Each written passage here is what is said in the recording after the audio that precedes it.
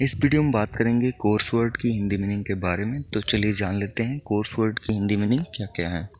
इसकी हिंदी मीनिंग्स हैं कार्य प्रणाली, श्रृंखला, लीक, क्रम और प्रकार।